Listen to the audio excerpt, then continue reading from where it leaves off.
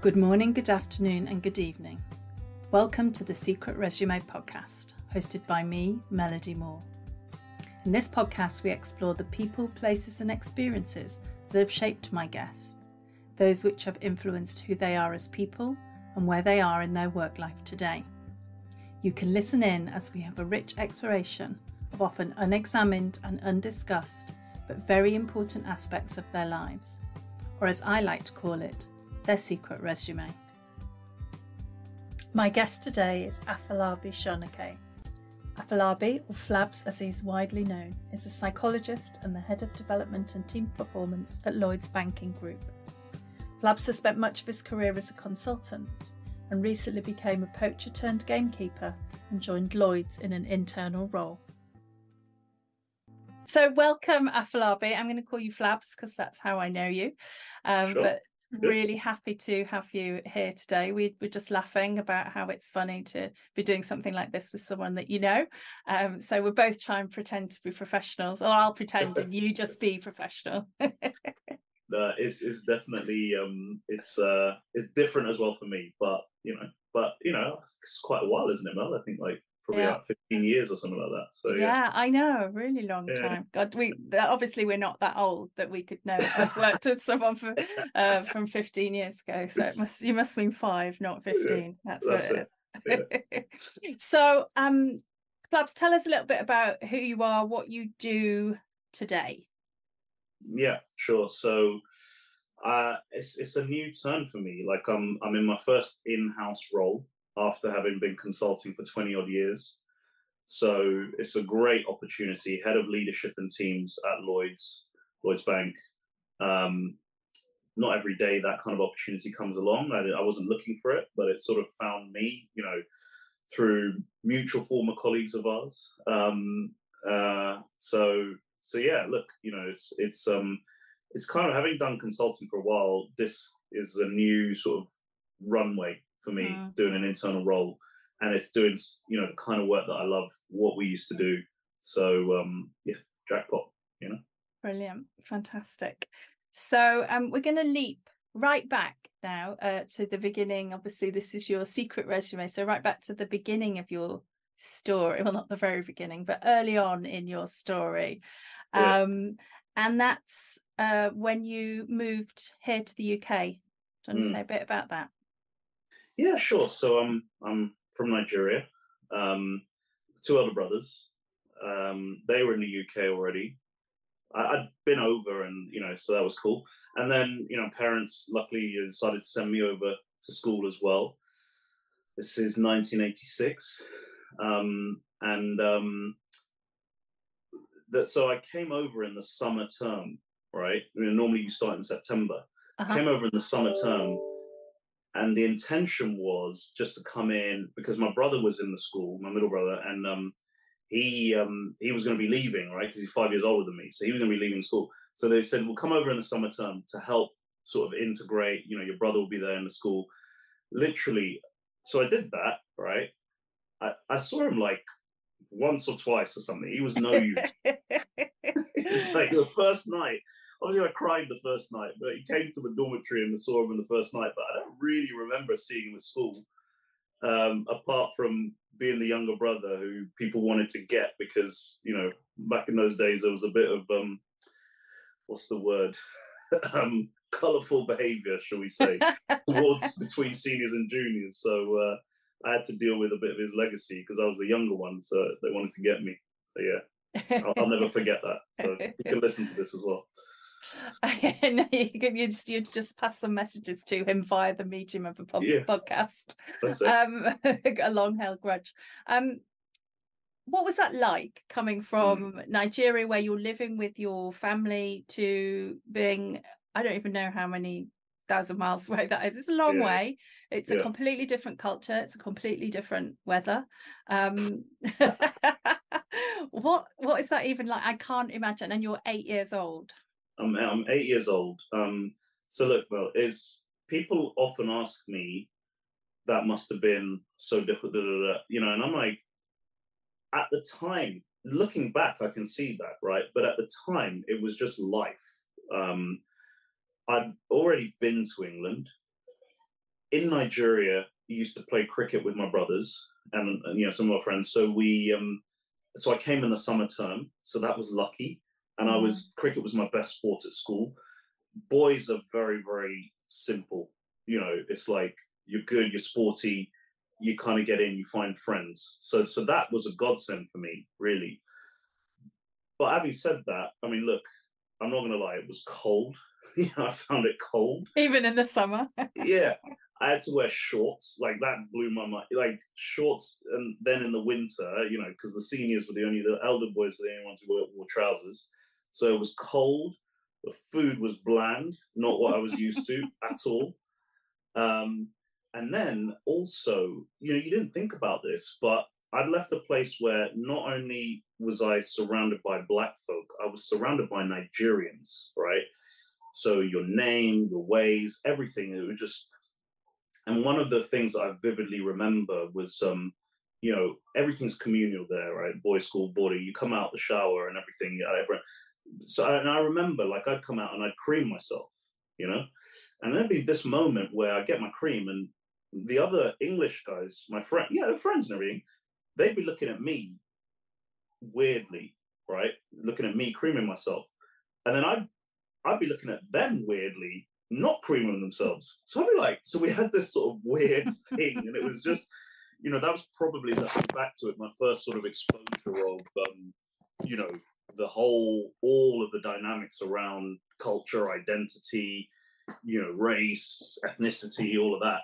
Um, so, so you know, it took getting used to get the cold for sure, but I think sport was a big, um, let me say, integrator for me Mm-hmm. Um, and uh, and and yeah, you know, you know, school can go either way. And luckily for me, you know, I got in friends, some still friends today, um, fewer of them, but some. And um, yeah, you know, it, it, I I sort of made it work. I guess. Mm. Were were there many non-white kids in the school? No, no. So I was the only black kid in my year. Um, there weren't many others. There was a, definitely another Indian chap in the year. I'm just trying to think. Um, yeah, he and I were still good friends today. Um, but yeah, no, I mean, in fact, throughout my whole school year, 10 years schooling, I was always the only black kid in my year. Mm. Um, so in the year above or below, there might have been more, but that's just how it how it happened for me. Okay. All right. Mm. So you're in the cold, uh, bland food. Yeah, assuming oh. that's just boarding school food or just no, British food England. generally. That's, yeah, certainly in the eighties. Come on, it's got a bit better now. Uh, yeah. Uh, um, but when you were eleven. Mm. There was you had a bit of a, a shake up. Is that the right uh, word to to use? Yeah, yeah, that's fair. I mean, look, I um I'm not. I'm, I was never the best academically, right? Um, I, I think I'm much in a different place now because what I'm doing is more vocational, and that plays more to my strengths, right? But Nigeria, West African parents, is the culture of you know, my dad's an accountant, you know, be a lawyer, be an engineer, be a professional, do so. There's a lot of kind of, you know, sending your kids to England to to learn and do great at academics and you know all of that stuff, right? Um, I just wasn't really an academic personally, um, so, but I was in a good environment because you know it probably helped helped me get better and carry me mm-hmm. a little bit, right? Um, but at the same time, you know, financially it was tough for my parents you know, they mm. were making a lot of sacrifices to send myself, my brothers over. And, you know, parents love their kids, but let's be honest, they also expect something in return. And, you know, uh-huh. it's not going to be for nothing, right? Fairly, fairly. So, you know, I wasn't really doing well at school. My, actually, my, my brothers probably, probably helped, despite not helping me when I came, helped out to try and talk to my parents, say, you know, he's not the best, you know, academically and everything. Anyway, I wasn't doing great. I was sort of okay. And then had a tutor as well. And there was one time when I was in Nigeria, we were back there for holidays with myself and my brothers. And um, my brothers went out somewhere, and I was like, oh, I'll go with them, right? And in going with them, the tutor came. It was a French tutor, you know, parent again, work right, and um, I think he came, and I missed missed the lesson, right? And so when uh, when I then got home, my parents definitely not happy. Like I got, I, I knew about it, that's for sure. And then they called me into their bedroom and they were like, you know, this has been going on, your work's not being, we're going to bring you back to Nigeria. You know, you're going to leave London. And I was like, whoa, okay. They've been saying this, not, not as a threat, but like now it's for real. Um, so it was about age 11. And then that evening, um, we went to church like as we as we would normally do and um that was you know whether you are of faith any faith or no faith but basically saying prayers whatever and the priest like spoke to my she spoke to my parents afterwards and was just like no don't don't bring him back let him you know da, da, da.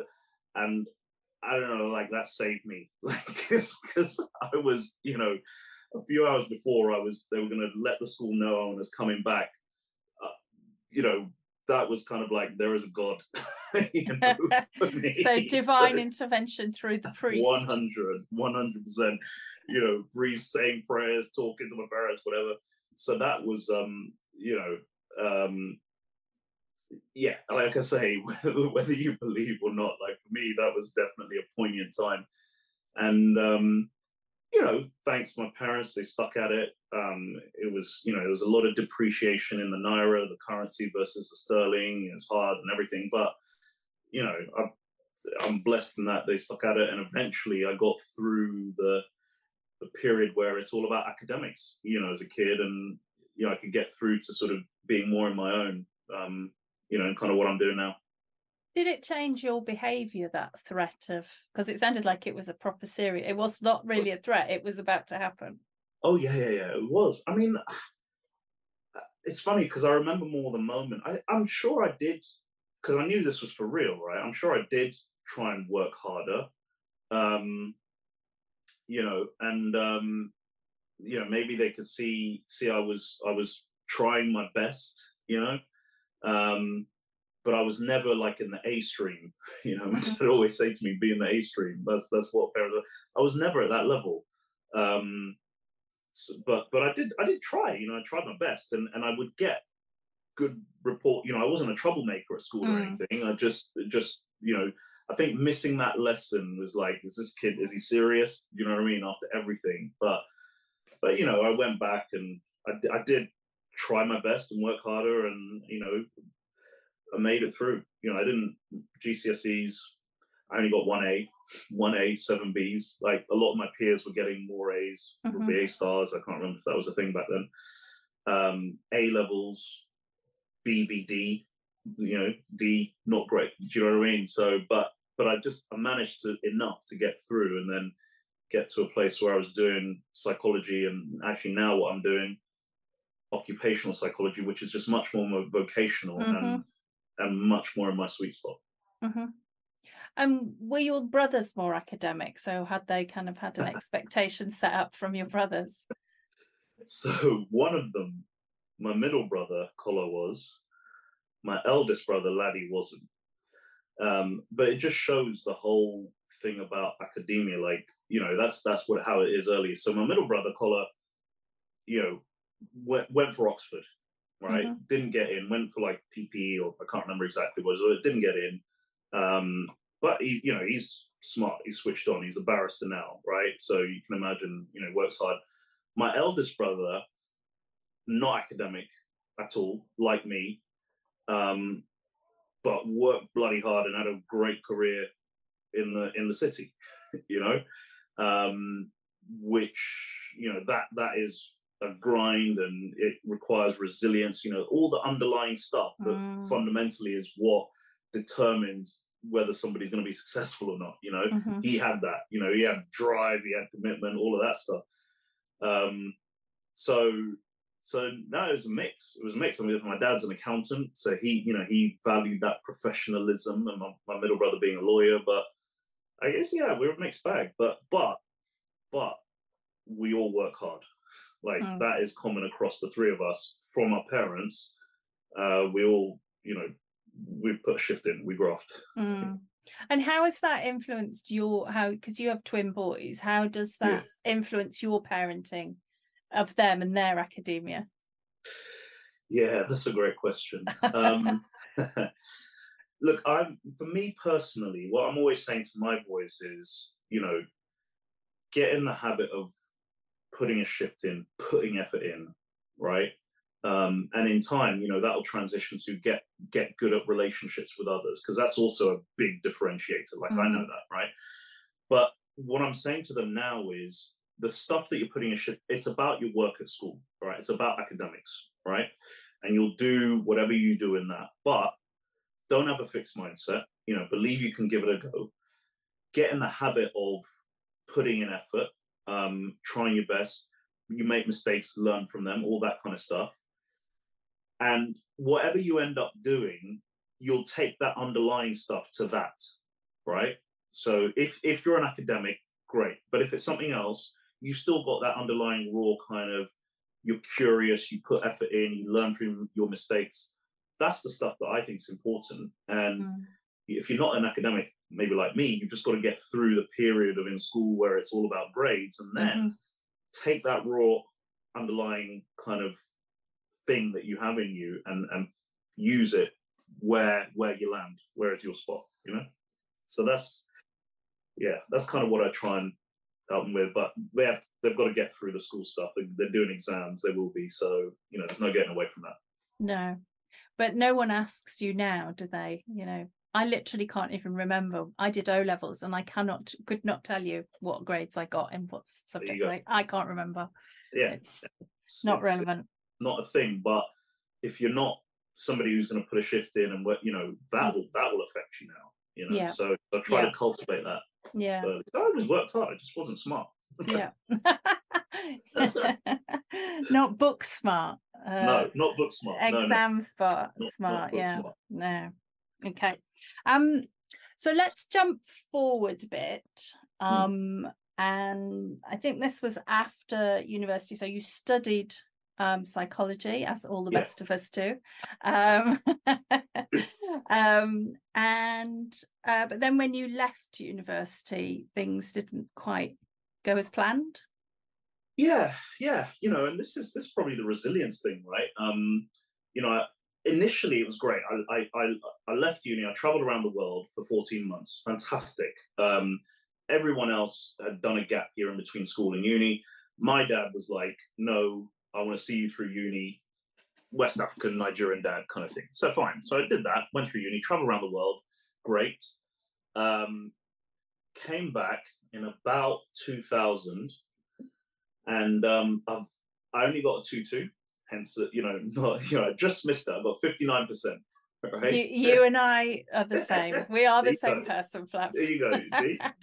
So so you know and I busted to get it. I was like one more percent because it made a difference back then getting on jobs and graduate mm-hmm. milk rounds and all that kind of stuff. So I didn't get on came back um you know you know, had a great time but need a job you know broke need a job um, support family support so not like um you know ends meet ends you know making ends meet or anything. Um so i'm i'm hustling around looking for work um i get a job in recruitment great. Um somewhere in, in this timeline like i did that for a couple of years but it wasn't a job for me. It's sales and mm-hmm. you know as i look at it now like i say sort of that's that's just sales or or recruitment or the only other job is more sales or more recruitment right? Um, so i leave that um, go and get a master's. But in amongst all of this you know i need to get a job i need to get a job. I get a master's I, in oxide great. And then i'm really looking for work and you know trying to get professionalized in this. And it's really really hard to find work. There's there's hardly any jobs. Um, so i'm like down and I'm still hustling, sending out CVs. You know, this is the hustle comes in, you know, the work hard. And in amongst this, I'm not getting any money. You know, luckily I'm at I'm at home, but you know, my dad is like, you know, go and sign on um, for for the doll. And I'm like, it's blowing my mind. I'm, I'm not going to curse, but I'm like, what the, what, what's just going, what did you just say? Because I'm like, my dad, who's so proud and, you know, the parents work hard, send, you know, they, they, they have greater aspirations. So I'm, like, this is crazy. Like, what are you doing telling me to sign on? Anyway, um, that hit my pride because I'm like, this is not the aspiration I have for myself. Um, but I kind of trusted my dad as well, you know, because I knew that he wouldn't, you know, he's he's given me advice for whatever mm-hmm. reason. Mm-hmm. So so I went and I signed on, and um, that was difficult. But then you get a bit of money, and you know you kind of move on because because you need it. And uh, and then anyway, long story, you know, I'm still hustling, looking for jobs. I find a job, you know, I go to a place and I say, listen, I'll come and work. I've done my master's. This work I want to do. I'll come and work for free. I just need you to pay for my travel to the office. Mm-hmm. Right? They took me on as an intern. Great. I think I could still stay signed on. I think. And then a few months late, because you know you can't have a job, and obviously, so but because mm-hmm. I was an intern, so then a few months later, they do a recruitment. They offer me the job. Brilliant, happy days. And I go and I, you know, I go and tell at the, the employment, the job center, yeah, I've got a job. You know, I'm signing off now. Great, happy days. You know, so so I'm, you know, great, starting a new job and everything. And then a little while later, I'm kind of saying to my dad, this is like years later, I'm like, Dad, how come you told me to sign on? Like that can't have been the whatever. And I thought he was sort of doing like the reverse psychology on me. Mm. Like, you go and sign on, and um, you know you won't like it, and it will push you harder to get a job. Mm-hmm. You know, I, I thought that was what he was doing. We never spoke about it. So was that what you were doing? And he was like, no, I just I paid my taxes and my national insurance, so you, can, you can get the benefit of that. So. it's very pragmatic. yeah, it's like I paid into the system, and if you need it, you should use it. So I'm like, yeah. fair enough, that's fine, you know. So it wasn't it wasn't the profound moment, but I guess it was profound because I um, you know, it, it still sits with me, and it just reminds me of the the hustle the whatever, mm-hmm. the pride, the desire to get up and go. And, you know, I wanted more for myself. And did, so yeah, even though yeah. that wasn't your dad's intention, did it have yeah. that impact on you that because you felt it you felt it to to have to go and do that? Yeah, hundred percent, hundred percent. Like that was that was never my aspiration um, for myself, you know. And even though I wasn't an academic, I still wanted, you know, I've got that achievement motive we talk about, right? Mm-hmm. So so I still wanted stuff, and that's that was I was never satisfied with that, you know but I had no, I, I needed something, you know. You know, I could have tried and asked my dad or whatever, but he didn't, he, you know, for money. But that that wouldn't have worked for me either. You know, you're at a point where you want to be doing stuff. So it did, it did motivate me for sure, um, and um, it probably had the effect that because I said I trusted my dad, I was like, maybe this is what he's doing. So it did, mm-hmm. it did work. It did motivate me, and you know, I kept hustling. And I, I was that's why I went and volunteered. I said, listen, I'll work for free, you know, yeah. and and luckily that was my in, and you know, not looked back since then. Yeah. And speaking of your dad, one of the things that you told me is really how you know your family and your upbringing has had a really strong impact on you mm. and and how you think and who you are. Tell us a bit about that. Yeah, totally. I mean, you know, blessed with my parents. Um, my you know, I, I got different things from them. You know, my mum was was unbelievable in um, you know helping me sort of helping an element of independence as well. You know, um, just the stuff at home, learning how to cook. You know, being in a home, all of that kind of stuff. Um, my mum, you know, discipline. Um, you know, she was she was a no nonsense woman basically. So again, the graft, the hustle, you know, I saw a lot of that in her. She worked, she brought us up. You know, both my parents worked, and and also just the values, you know, humility and and um, helping others, and you know, um, and and my dad as well. Like, um, I think of my you know, I'm his spitting image in a way. Like he says to to my wife Nana, is like, if if you want to know who you're marrying, look at me. Yeah, look at me. You know, this is going to be him in 30 years, kind of thing. You know, so so you know, counsel, advice, looking up to somebody as as a as a boy looking up to somebody as a man and and, and seeing stuff and just um you know and for both my parents the fun times the laughter you know with my brothers bringing us up um and just the um values like humble values and you know not they were never extravagant my parents um and if they were but there was still a level of humility to them you know and not kind of the big wild whatever. So um so yeah, that that was just priceless and and being a big big shaper for for mm-hmm. me, I'd say. Mm-hmm. Yeah. Okay. Uh, well, you we were talking about uh, not being big spender. I was admiring your top, and you were telling me that you wear your clothes till they fall apart. So is that something you got from uh, from, from, them? that's that's from my dad. Wearing the clothes until you cannot wear them anymore. So, and that that was my mum and dad would go because my mum would it's kind of like Nana and I, right? My mum would always clean out his stuff, and I had like this top you see now is because Nana got tired of the one I was, I was wearing. A scruffy husband. yeah, fraying, and she knew I wouldn't, I wouldn't throw it away. I just wouldn't. But so she went and bought some other ones, and I was like, "Thank you" with gritted teeth because uh, there's a message in there what she's trying to tell me. So it is a nice top. Though, yeah. yeah, yeah. It is a very nice top. I would wear it. Um, let's talk a bit about uh, actually where you and I first met each other. So uh, the organization, I guess we could say the name Hay Group, um, yeah. doesn't exist anymore um, as such. Um, that's somewhere you really found your feet. What tell us about that? Yeah, I mean, uh, you know, I think you and I will testify. It can take a while for you to find your feet in Hay because there's a lot of mm. you know nuances, peculiarities, and subtleties and everything. But you know, as I look back, I mean, what a place! Um, what an experience for fifth, well, eleven, however many years before it, it became Korn Ferry. Um,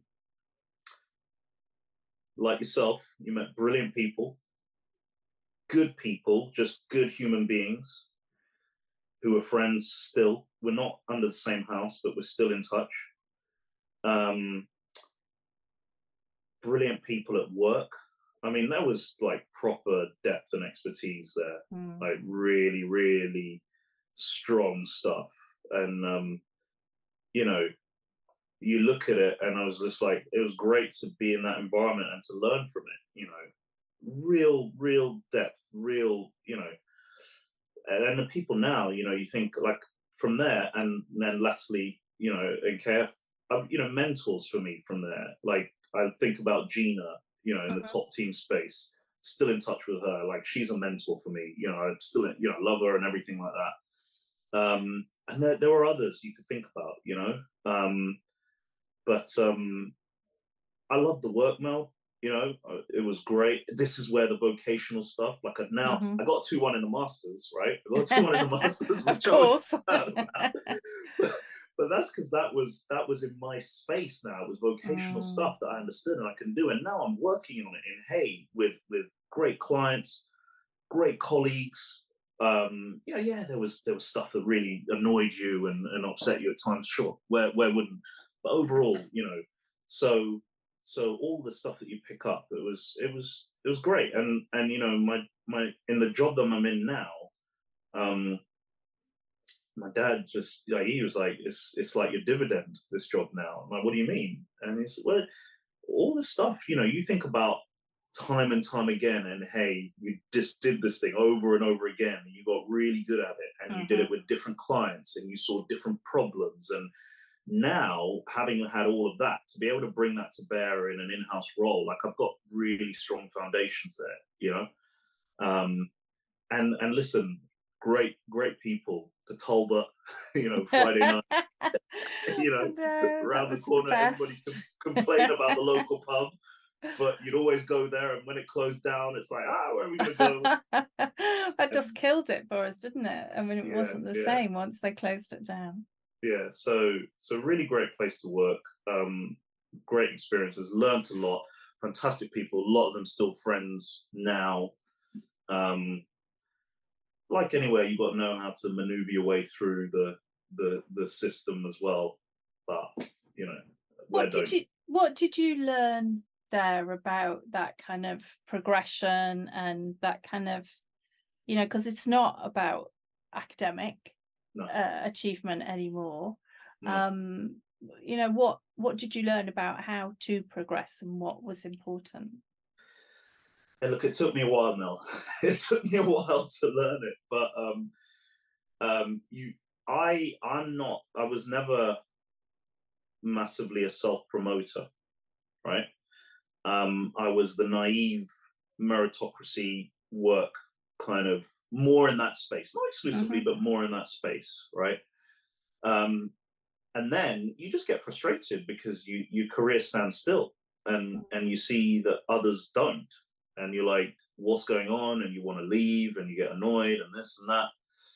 Um, so it, it got to a point really where I was like, I had to find a way to rationalize for myself doing my own self promotion. Because um, let's be honest, it's about relationships Mhm. at the end of the day, right? In a consulting firm, you know, will I put you on my project? Will I put you in front of my client? Can I vouch for you? You know, it's all relational stuff, right? Because they assume that you can do the job. Um, so I had to, I had to, I had to realize, Mel, that when I was over here in this country doing this work and it was great and I was getting good feedback, my boss didn't necessarily know about it, right? Mm. because they were elsewhere in another country, whatever, right? Um, so I had to find my own way of of making it known that I'm doing great work as well, you know, and I I can progress and I can operate at the next level, right? Um, so when I had that realization, I rationalized it that I'm going to tell you about the stuff I'm doing, right? Not from a self promotion perspective, but we're in a consultancy, right? We sell time and expertise to clients, right? So if I'm doing great stuff over here and I think it's going to help you with your client over there, I can help you. I'm going to let you know about it, right? So, and in in turn, it's also doing great promotion for me, right? And it started to help people understand more and more about what I could do and my skills and all of that stuff, you know. So I needed my own way, which I think everybody does in that kind Mhm. of environment. You'll know what you went through, but I needed my own way to to be able to do a bit of self promotion, to add to, not instead of, well, maybe in some people you could say instead of, but, But shouldn't you- name no names. you know, you might have to edit that bit. No, no. Um, but but what did I have to do to add to to let people know that no, I can do this stuff, you know, and I'm I am ready to progress and promote to the next level, you know, and you know, hey, whilst it was great, it had the quirks. Like I remember one at one point being told, yeah, you know, the feedback is you can't, you know, you're not really seen as somebody who can manage projects. And I was like, what? Um, so at the time, I was moving house and getting married, and you know, getting married, right? Through that. Oh, uh, and by the way, in MBTI speak, because like I'm an ISTJ, like I am the project manager. I know it. I remember you telling me that, and I was like, "What? Do, do these people know you?" so you know so i like i am the planful one in any you know so so it's that that's the kind of the stuff that you had to you know whilst it was a great place you had to swallow up i'm like where did you get that from? And it, it eats at you and da, da, da, da. so then you have to you know you fall down you have to this is the hustle right? This is the resilience. You have to get yourself back up. If you don't agree with it you have to find your own way get me on a project show that you can do it talk about it to other people you know so i guess i learned the importance of the um you know the relational bit and and underlying that finding the, and this is the more important bit right? Finding an authentic way for me Mm, to do that stuff that perhaps wasn't so comfortable um, you know, that you kind of had to do because with the best one in the world, you're in a consulting environment, so you're here, there, and everywhere. you know, you, people are just not going to necessarily know. So you've got to do that self promotion. Yeah. But that's true in life, you know. Yeah, I think it's really interesting what you're saying about finding a way to do it in a way that felt comfortable to you. Yeah. yeah. Um, you don't have to be like other people, but you still have to do it. Yeah, look, until until I found that Mel, I couldn't. You know that that for me was a different point in the career. You know, Mm, because otherwise people see through it. You, Mhm. It doesn't come well. People know what you're doing, but because I could rationalize that I've done great stuff here. You, I know you're doing this with your client. You would benefit from knowing Mhm. about this. Let me come and tell you, or then you have to go and talk talk to it at a, you know, a colleague thing we're doing. mm, You know, that was how I rationalized the self promotion angle of what you've got to do. yeah, yeah, absolutely. Um, let's talk about. Uh, so this would have been um later on. Uh, I guess we probably yes we transitioned to being Korn Ferry by this point. But- Probably, yeah. um the uh, you know and it's something that really you know part of the reason i asked you to come on this podcast is because of of what happened then and how your reaction and response really you know affected me and touched me and other people that we know which was the the murder of george floyd and Mm. you know what happened uh in the us but you know around the world as a result of that. Can you you know you wrote a linkedin post which for me was just incredibly powerful and i'm assuming it's still up there. I'll link to it in the, the show notes but let's talk a little bit about how you felt what your reaction was. Mm, yeah. So, um, George Floyd, this, I think it's May 2020 when that happened. So my boys, my kids, I think they're eight, eight years old by this time.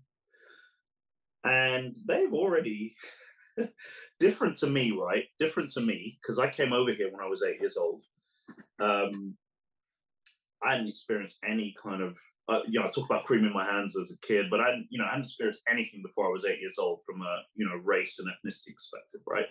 But they already had by the age of five um, in school um, comments like, um, you know, this group wasn't didn't do very well because there's, you know, three out of five of them are black, right? The kids, you know.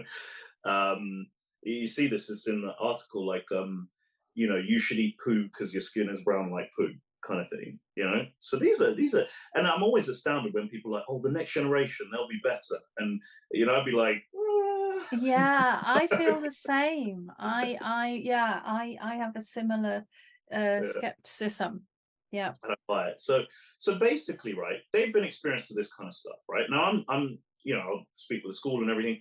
But what I'd also been doing though, perversely was, and you know, it needs to be both, but what I've been doing exclusively was helping them get better at the stuff they were going to face into, right? About their identity, about their ethnicity. I was helping them learn how to deal with it, you know, about not being proud about being black and saying they wanted to be white. Like I'm, so all my energy is going in to that pre pre George Floyd, right? Um, why? I don't know. I I somehow came through it. You know, I was the only black child in my year. I think I was lucky that I was going back to Nigeria in the holidays, not all of them, but most of them. So it helped me keep strong with my identity, you know, and my family and everything, friends. So I'm like, um, so I'm like, my kids are not, so I've got to help them. So I'm putting all my effort into helping them almost put on that armory to deal with the stuff that I know is going to come flying their way, right? Um, then George Floyd happens, and around about this time in Korn Ferry, you know, my other mentors, the sages, as I would call them, you know, Audra and, and Rolando, um, we're doing a load of power of choice stuff with them, Mm. right? And, you know, I just uh, just because at this time you had started getting involved more in diversity and inclusion work Yes. prior to this, hadn't you? And yeah, Rolando and Audra, sort of great luminaries in the Korn Ferry world in that in that type of work and you were yeah. working with well we were both working with them both. Yeah. Yeah absolutely yeah. So i i guess because i was always doing facilitation stuff right Mhm. i'd actually done dni that first role where i said you know I, i'll work for you for free i'd actually done dni training there. Mhm. we did less of it at hay um, but you know came in and you know started to do more of it when because which uh, you know when they were acquired into Korn Ferry. So so I'm doing work with them, right?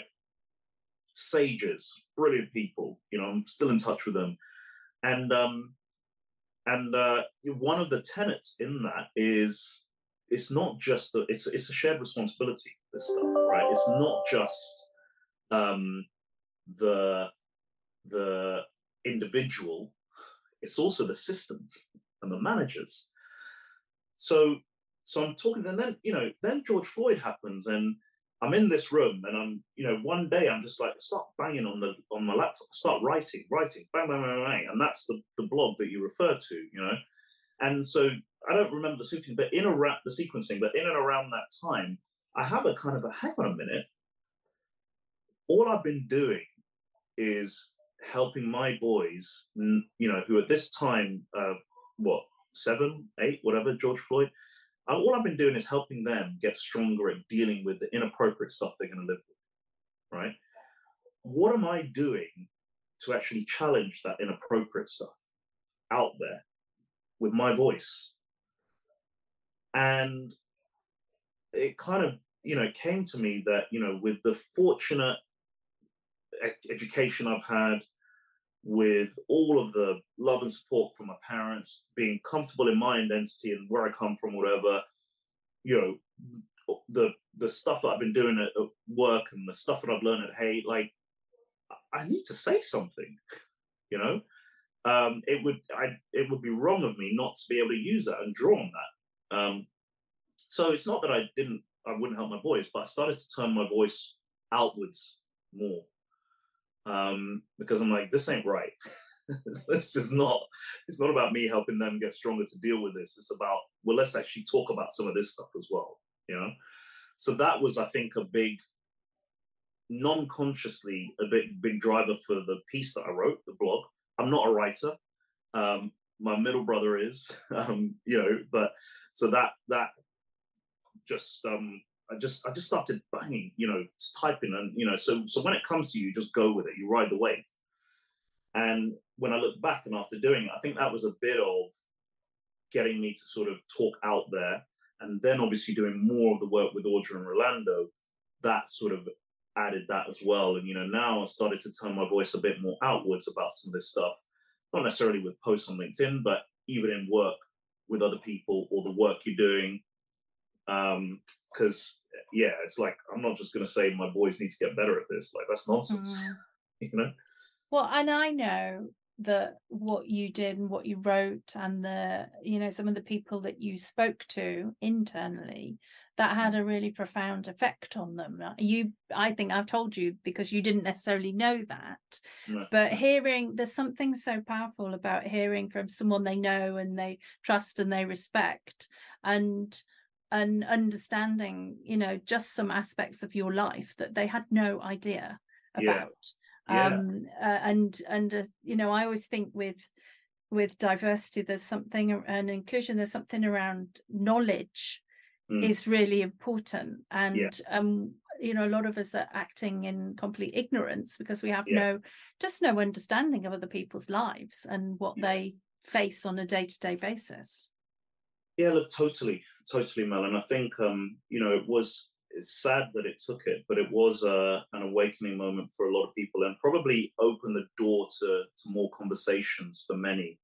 and you know, and also private reflections. Like, you know, I, it, it took me back to, for example, you know, I would talk about this, but I remember when I when I was sort of I don't know, twenty five or whatever, whatever age, you know, be going out out, come back home and I'd be walking home late at night, right? And if you were walking towards me, Mel, when I'm walking home, right, I, I don't see myself. I'm I'm chill. I'm not a threat, right? No. But subconsciously, Mel, if you were walking towards me, I'd cross the road, mm-hmm. right? I'd cross over the road and walk the other way, right? Uh, the on the other side. Now, I was saying this to some people, and we had a laugh, and they were like, "Oh, that's really considerate. You were doing this to protect, you know, the woman who, who was walking towards you." And look, I get it and understand it, and there's horrible things that, that happen, and you know, and and we had a joke about it. I was like, "Yeah," and I was doing it to protect me as well, like, mm. you know, to kind of.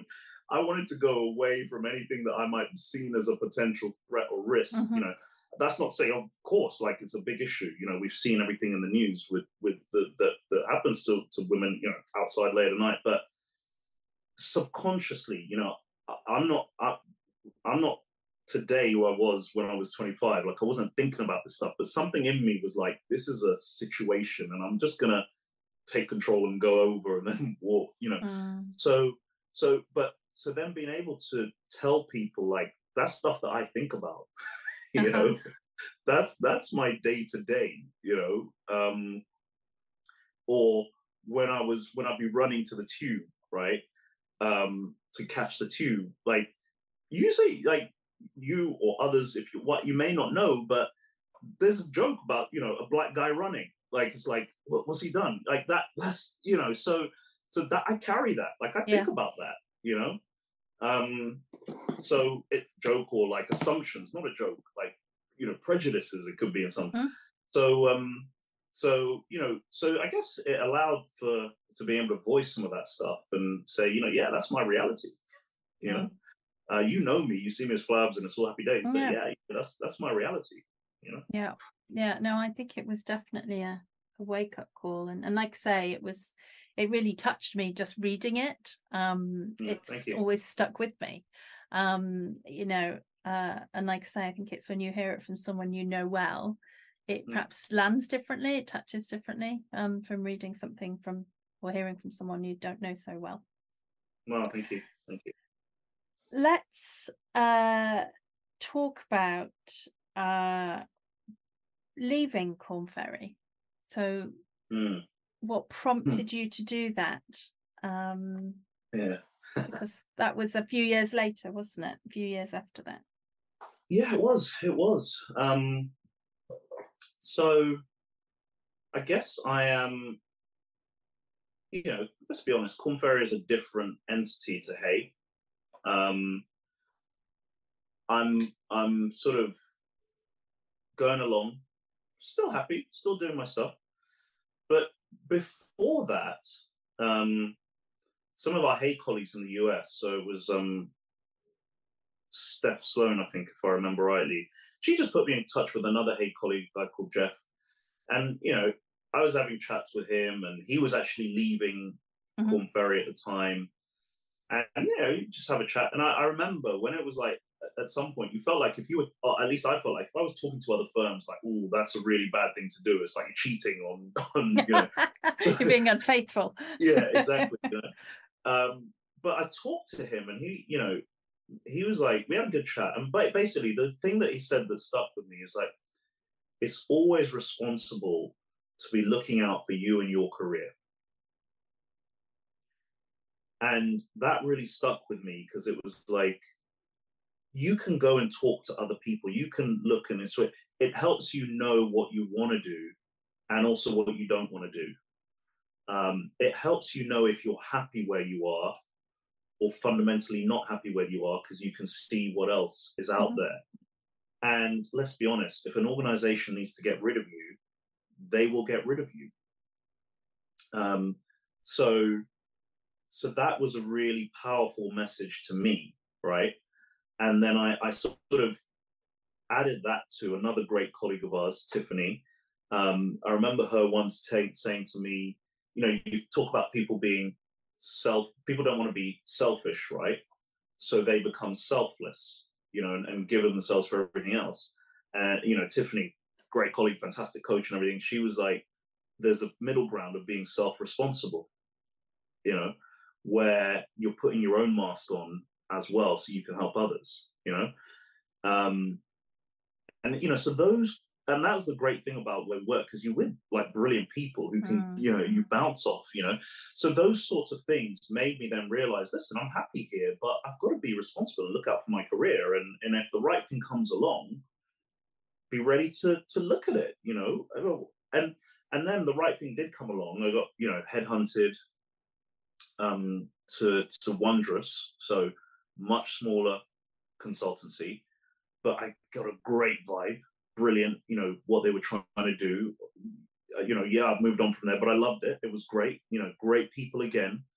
Um, real sort of really meaning the, the work of being uh, you know the thing that we coined there is about being deeply human the work that we do you know um, and you know so various people had spoken to me i didn't necessarily um you know extend all of them but then i got the headhunter and i did my he called me up and i was like listen i'm not really looking and you know he saw me coming because probably everybody says that to a headhunter right he's like yeah yeah whatever so you know he told me about it and you have conversations, you have more conversations, and then Jeff's words are kind of ringing in my ear. You know, being self-responsible is ringing in my ear, and and then I start to ask myself a question. You know, at this point, I don't know, how am I? I'm just over forty at this point, so I'm like, am I just going to retire at Korn Ferry? Like, yeah, it's a good place, but good. There could be more. There could be more out there, and step out and, and have a look.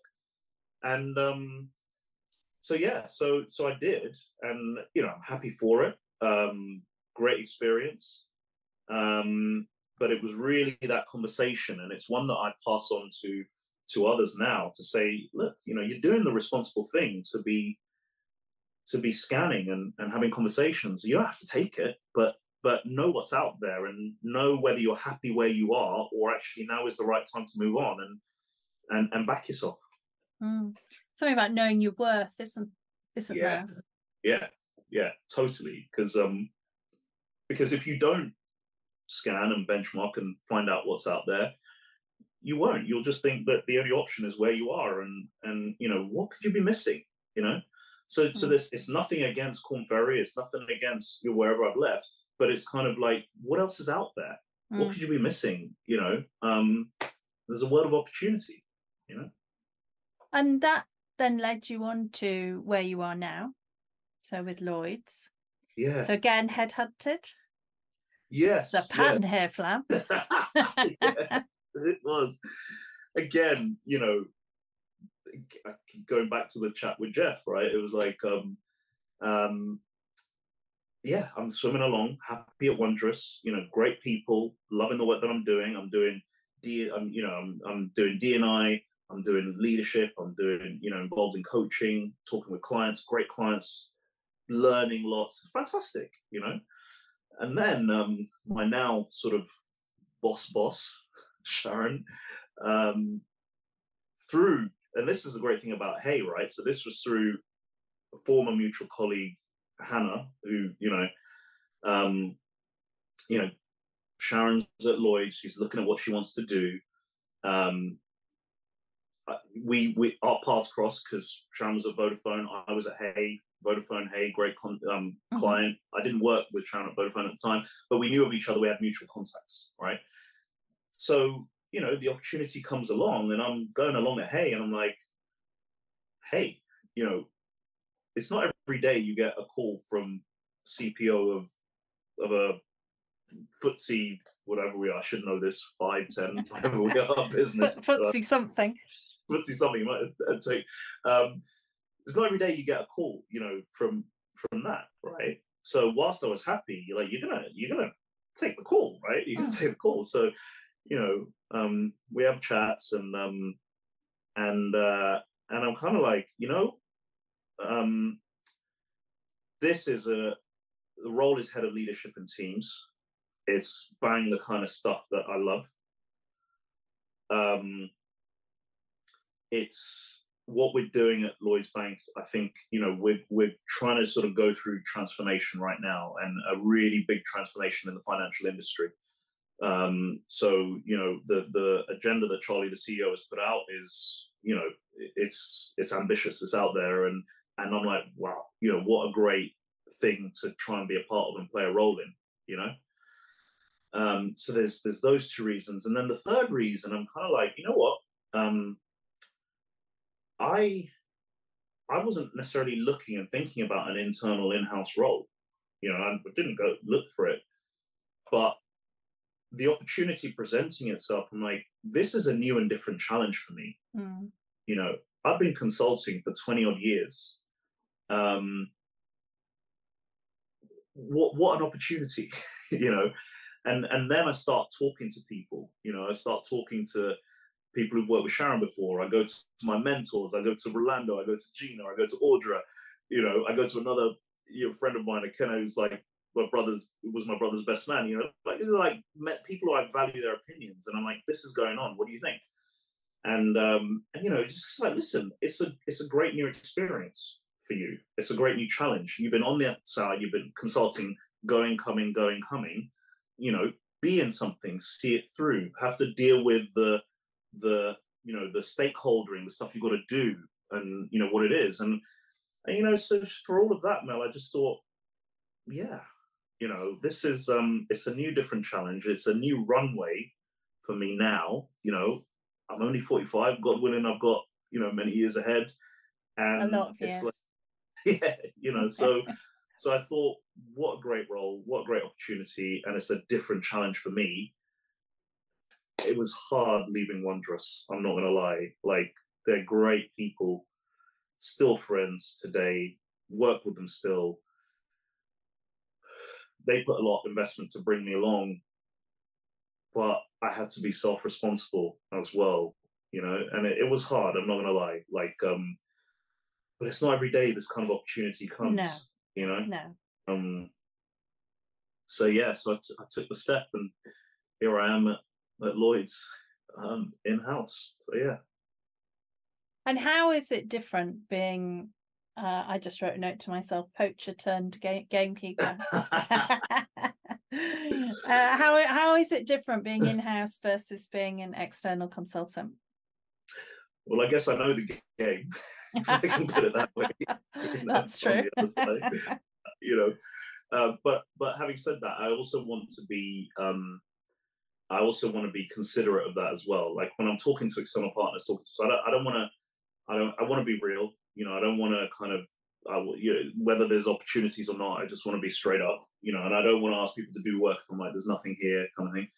Um, the difference, um, so what I miss is, you know, you walk into Hay or, or Wondrous or whatever, and you know, um, you definitely miss being around other, let's call it consulting colleagues, right? And what you get from what I would call thought leadership that just has to be in the ether of mm. of that sort of space of work. You definitely miss that.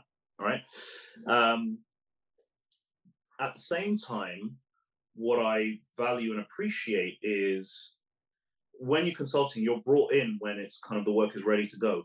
Mm-hmm. Um, what I'm learning now is all of this stuff you've got to do to get stuff ready to go, you know, um, which, if I'm honest, I ran away from back in 2003 when I got my first job, you know, when I was mm-hmm. volunteering, because I wanted to do the doing, right? that that we got at Hay, and then for me at Wondrous. Um, but now, you know, it's the the scale is bigger. With we've got a big transformation. It's it, you know I'm in it to try and play a role in seeing that through.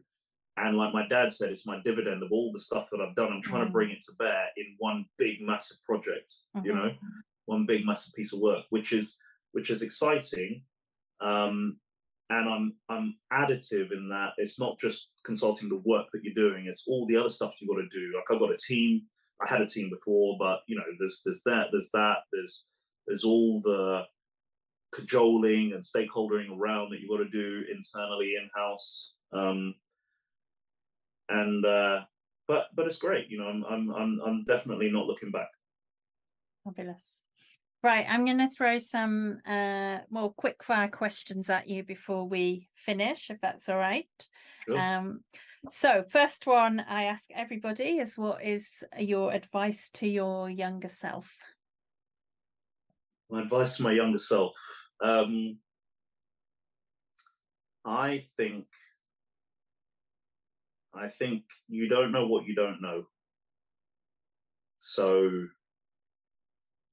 so so being kind of curious and open and experimenting it's a bit ironic because I stayed in Hay for 15 years or whatever, but um, and that that was great because it got me depth. But I I think if I could go back, you know, just being open, experimenting, and you just don't know what's out there, what mm. what you so there's just the the range of learning you can get, right? So you live through your kids. You know, I'm always saying to my boys, keep an open mind. You know, you might not see the thing now, but and that you know, my mum would say that to me, my dad would say that to me. You know, to keep an open mind. Um, you know, you might not see how it benefits you now, but you might look back and think, oh, that was mm. great. You know, mm. so so that that sort of staying open and curious because you just don't know what you don't know, and um, you know, I think I think just because you don't see the utility immediately doesn't mean it's not going to help you or it might take you down a path you you didn't conceive you know? yeah yeah yeah i 100% agree on that um second question which i don't ask to everyone because we're recording this in black history month or uk black history month mm. at the moment is hmm. happening mm. and i'm curious as to what you think about black history month or you know that kind of uh, mm. Mm, celebration, whatever we want to call it? Yeah, it's an interesting one because, like, you know, growing up in Nigeria till I was eight, like, it, you know, that your identity, uh, that wasn't really, it was, that's just your, everybody's like, not just black, everybody's Nigerian, mm-hmm. you know?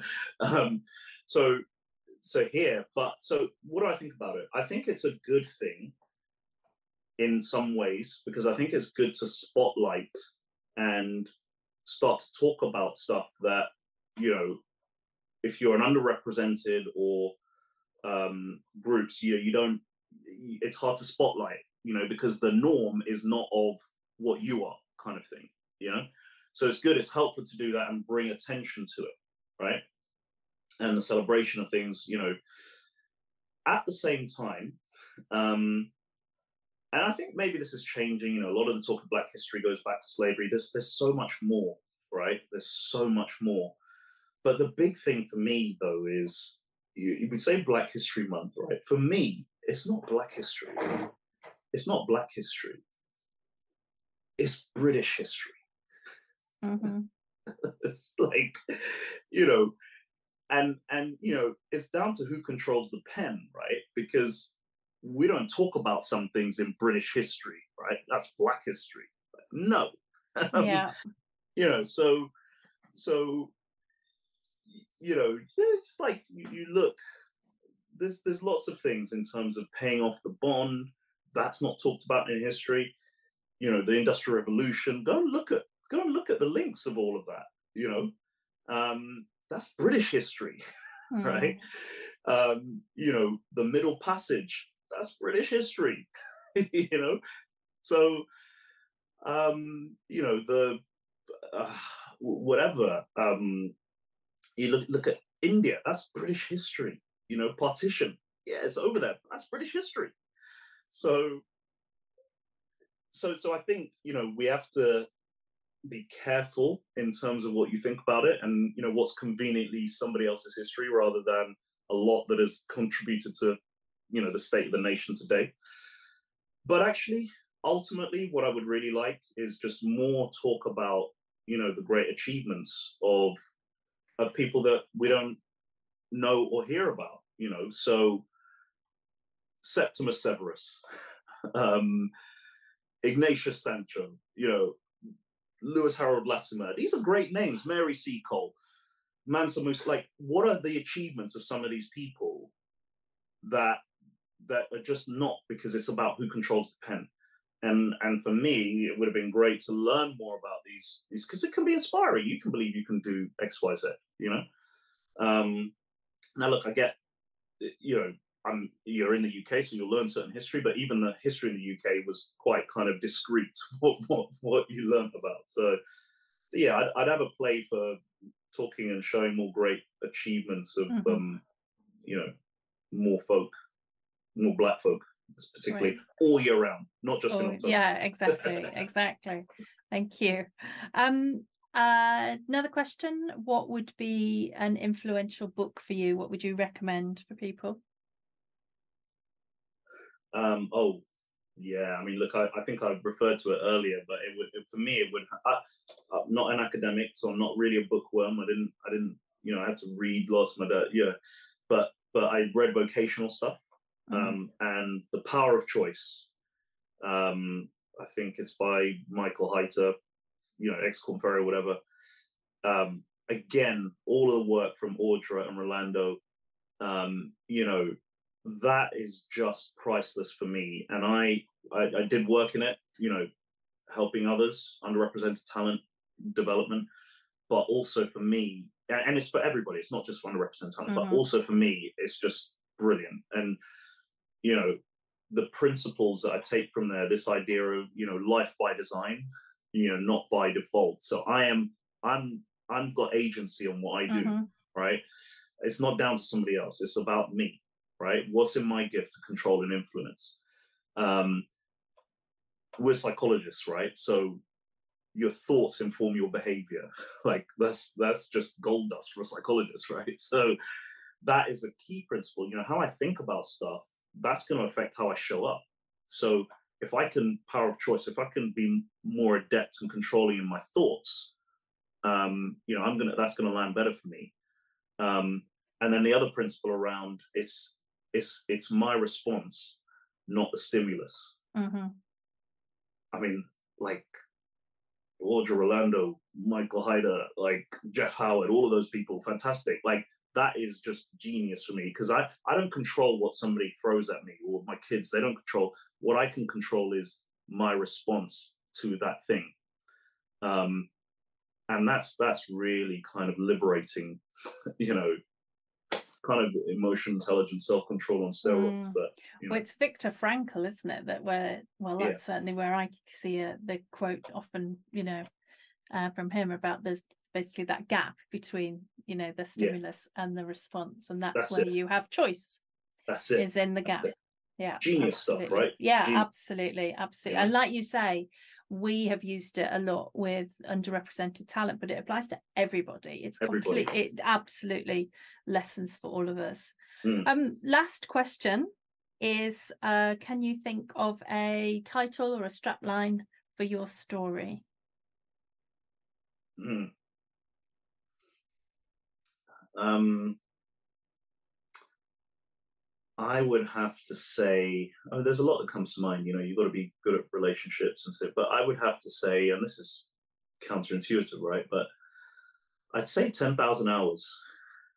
um, like, if you want to get good at something, you know, and that's probably what I've come from. Hay, you know, we did a lot of you know, that expertise. Um, however, you know, ten it would be ten thousand hours plus, right? And the plus for me is you got to get good at then how you sell the story, then how you influence, then how you Yes. know, can you can have a great idea, but can you sell it, Yeah. right? Can you make it happen? yeah.